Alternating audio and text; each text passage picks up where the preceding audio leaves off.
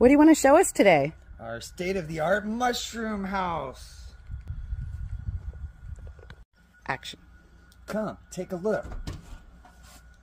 Action. So here's one of the twin mushroom houses. It houses a, a multitude of things for fruiting and growing gourmet mushrooms. Uh, one of them is the fogger. This is the atomizer that atomizes the water and produces the fog once the mushrooms are here and fruiting. Um, all this being controlled by a PID control system.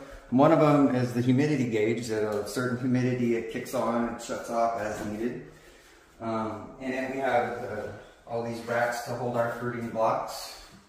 At the end, we have a carbon dioxide monitoring system to monitor the carbon dioxide. And when it reaches a certain level, it will vent it out. Action. Come take a look at our lab now. Let's In it, holds our HEPA filter flow hood, where we're going to do all our inoculations at. Here's our inoculation uh, chamber for the agar and the liquid culture over there.